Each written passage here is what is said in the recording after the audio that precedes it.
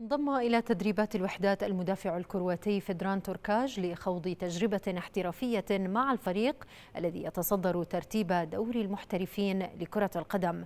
وكان في استقبال المحترف توركاج بالمطار زياد شلباي عضو مجلس إدارة نادي الوحدات ووكيل اللاعب ماجد البلعاوي.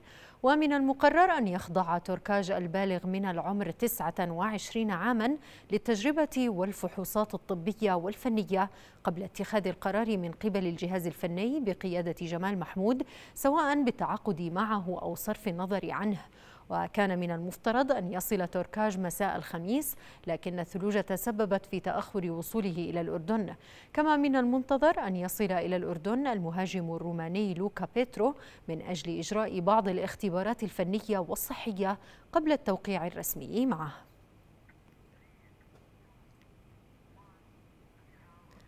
غادر المنتخب الوطني للسيدات فجر السبت إلى اليابان لإقامة معسكر تدريبي في مدينة شيزوكا ضمن تحضيراته المتواصلة في إطار استعدادات الفريق للمشاركة في منافسات النسخة السادسة عشرة من بطولة كأس آسيا لكرة القدم للسيدات والتي يستضيفها الأردن في شهر نيسان المقبل. وسيواجه المنتخب الوطني خلال المعسكر فريقين من اليابان هما أكاديمية فوكاشيما في الرابع والعشرين من الشهر الحالي ونوجيما ستيلا.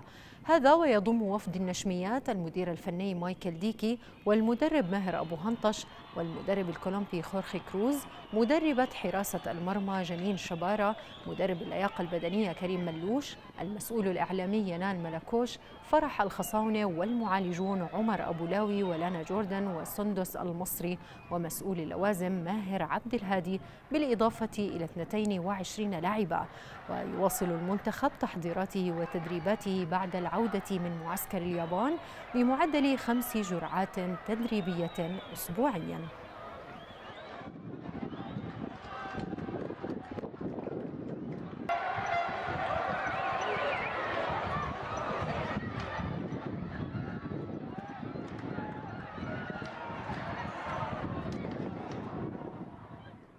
حقق فريق العربي فوزا مثيرا على حساب فريق عمان بنتيجة 19 هدفا مقابل 17 في المباراة التي جمعت الفريقين على صالة الأميرة سمية بمدينة الحسين للشباب في افتتاح لقاءات الجولة الثالثة لدور أندية الدرجة الأولى لكرة اليد.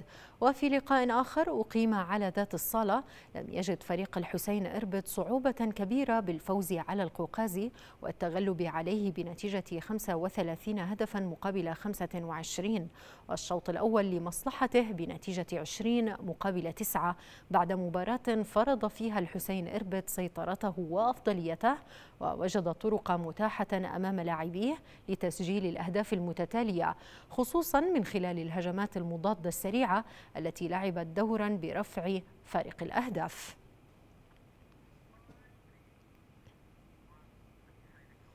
شهدت تدريبات بايرن ميونخ أمس الجمعة توترا كبيرا بسبب حدوث اشتباك بين النجم الكولومبي خميس رودريغيز وزميله الألماني سيباستيان رودي.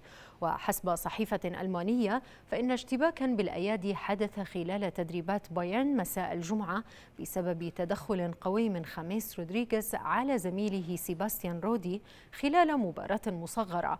ونقلا عن نفس المصدر فإن التدخل السريع من فرانك ريبيري وجيروم بواتينغ منع التوتر من التطور بين رودي وخميس لتستمر بعد ذلك الحصة التدريبية بشكل طبيعي. هذا ويستعد بايرن ميونخ لمواجهة فيردر بريمن يوم غد الأحد على ملعب اليانز أرينا ضمن منافسات الجولة التاسعة عشرة من الدوري الألماني حيث سيحاول النادي البافاري تدعيم مركزه في الصدارة.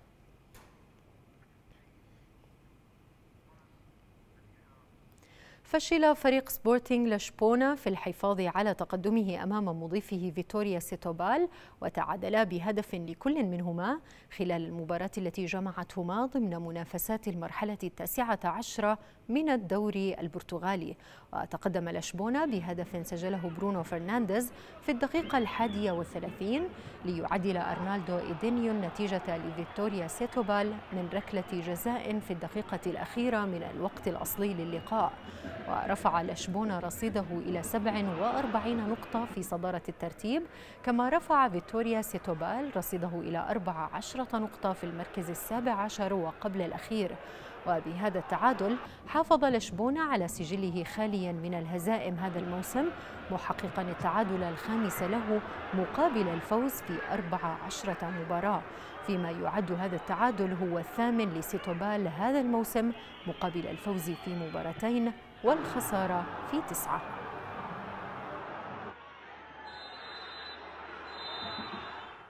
أدخل أسطورة الكرة البرازيلي بيليل مستشفى إثر تدهور حالته الصحية بسبب تعرضه لإرهاق شديد. وكان من المقرر أن يتوجه النجم العالمي السابق إلى لندن لحضور عشاء يقام على شرفه في جمعية محرري كرة القدم البريطانية.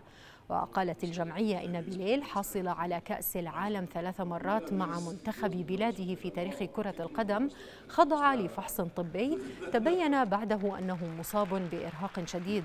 وأضاف بيان للجمعية أن بيلي يتلقى علاجا بالمحاليل ويخضع لمتابعة الأطباء حتى التعافي.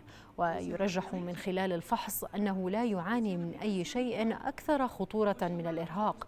وتلقى بيلي علاجا من مشاكل صحية في الكلى والبروستاتا خلال السنوات القليلة الماضية.